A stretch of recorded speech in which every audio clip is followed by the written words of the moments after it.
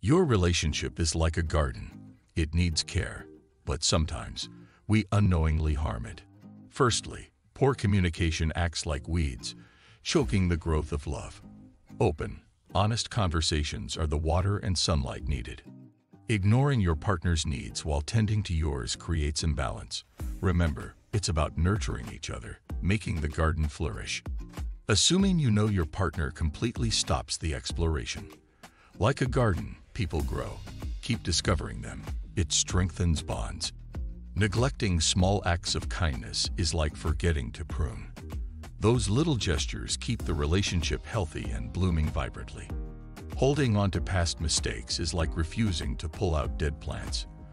Forgive and clear the ground for new growth together. Lastly, not making time for each other is akin to abandoning your garden. Dedicate moments to connect, keeping the relationship alive and well.